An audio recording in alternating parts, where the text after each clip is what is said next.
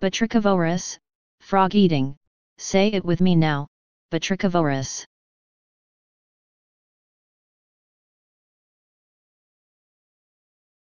Please subscribe and thanks for watching.